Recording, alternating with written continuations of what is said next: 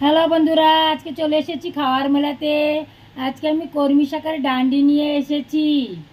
এখানে পেঁয়াজ টমাটোর কেটে নিয়েছি কুচি করে। আজকে আমি পেঁয়াজ টমাটোর দিয়ে কর্মী শাখার ডান্ডি দিয়ে চড়চড়ি করব। আমি কুকুরেতে পরন দেওয়ার সময় অল্প সরষে নিয়েছি।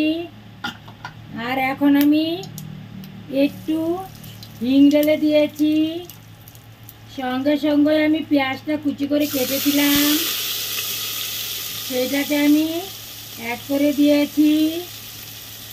ওর সঙ্গে সঙ্গে আমি হাফ চামচ থেকে কম নুন ঢেলে দিয়েছি।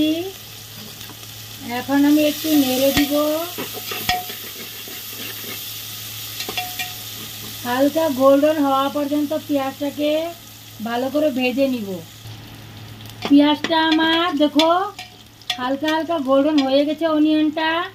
এখন আমি এই যে কর্মী শাকের ডান্ডগুলো নিয়েছিলাম, সেইটাকে অ্যাড করে দিচ্ছি অ্যাড করে দিয়েছি। এখন আবার একটু নেড়ে দিব। আর সাথে সাথে আমি মশলাটাকে অ্যাড করে দিচ্ছি এখনই। আমি কিন্তু লঙ্কা একদম হালকা অ্যাড করছি।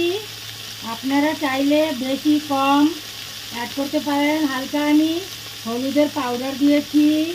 হাফ চামচ থেকে কম। ধনিয়ার পাউডার দিয়েছি। মশলা কিছু বেশি অ্যাড করব না। তারপরে আমি এর সাথেই টমাটোটা অ্যাড করে দিয়েছি। এখন আবার একটু নেড়ে দিব। একটু নাড়ার পরে আমি একদম অল্প জল অ্যাড করব। তারপর আমি প্রেশারটাকে বন্ধ করে দিব এক সিটির মতো। একদম অল্প জল আমি অ্যাড করেছি। আর জল দেব না। একটু নেড়ে দিচ্ছি, তাতে জলটা সিদ্ধ হয়ে যায় ভালো করে। এখন আমি সিটিটা লাগিয়ে দিয়ে আমি একটা সিটি মারব। বন্ধ করে দিয়েছি আমি। এখন আমি সিটিটা খুলতে যাচ্ছি, দেখি কীরকম হয়েছে। গ্যাসটাকে আমি বন্ধ করে দিয়েছি।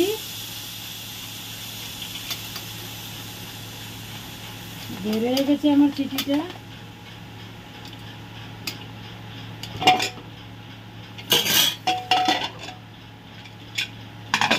দেখো কত সুন্দর হয়ে গেছে। একদম নরম হয়ে গেছে। অনেকেই সিম্পল চড়চড়ি বানিয়েছি। এখন আমি নামিয়ে দিব। আমি বাউলেতে অল্প ঢেলেছি। এই যে আবারও ডালছি এইভাবে আমি সবগুলোকে ঢেলে দিব।